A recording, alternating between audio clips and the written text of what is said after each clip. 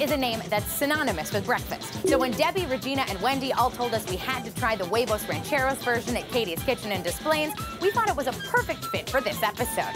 And I'm hoping since we're playing the name game, Katie will let me call it Marley's Mexican Benedict.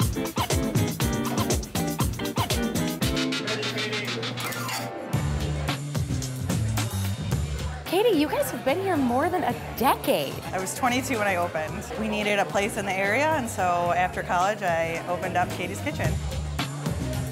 Most kids after college are just trying to get a job. How on earth did you do that? Part family help. Mom is here on a daily basis helping. My dad is kind of sitting and uh, watching over the place. Brother's just coming for the free food.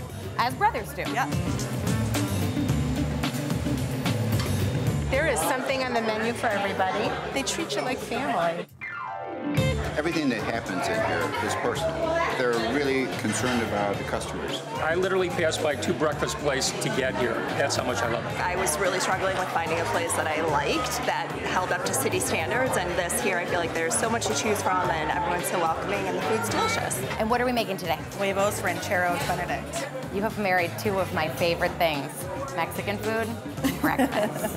It is a English muffin topped with a skirt steak, a poached egg, our homemade ranchero sauce, avocado, baked with cheddar cheese. We do everything homemade. now I'm starving. Am I cooking with your chef?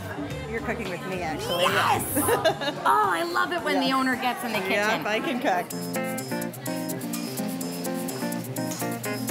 Kicking off our breakfast morning with marinade. This is our homemade barbecue sauce. Okay. House-made barbecue spice, honey, red pepper flakes for a little heat, Yum. Love heat. apple cider vinegar. Shot a day keeps the doctor away. And water. Pour that on over. We let this sit overnight. But I imagine you already let one sit for us? I did. All right, marinated overnight Overnight. in our special house-made marinade. Exactly. And then we go onto the grill? We do. Okay. I'm a two-handed cracker, I'm sorry. I'm still working on that one-handed thing. Is our steak almost ready to flip? It is. So this is cooking, these are poaching. What's next? We're gonna toast the English muffin in the toaster.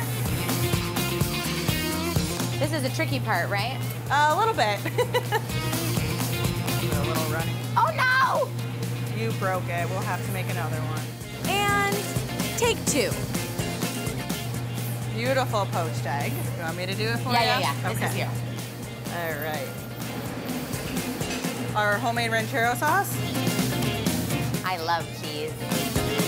Three pieces of avocado. All right, and now I'm gonna throw that in the oven and bake it. Good thing I put all that cheese on there.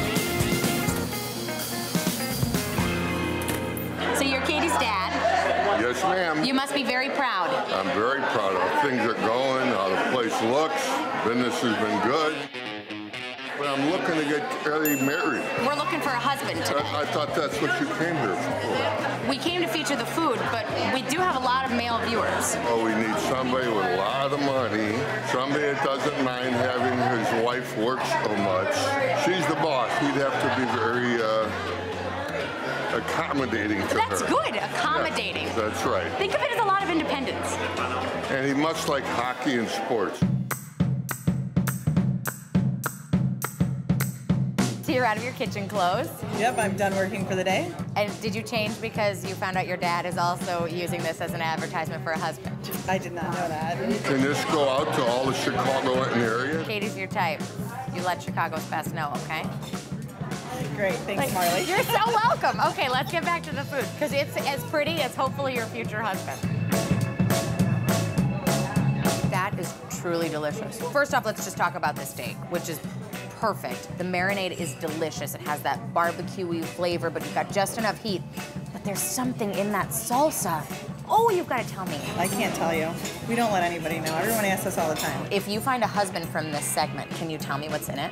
All right, it's a deal. What inspired you to make a Huevos Rancheros Benedict? We wanted to do something a little bit different than most huevos rancheros, so we took the tortillas out and put it on an English muffin, and voila. The balance of all the flavors and all the cheese just like brings it all together. And I'm sold for anything that has fresh avocado with it. Me too. Why is Katie's Kitchen Chicago's best? We are a unique local breakfast spot friendly. Our slogan is enter a stranger and leave as friends. Here's to friendship, because I'm definitely coming back for this. Thank you.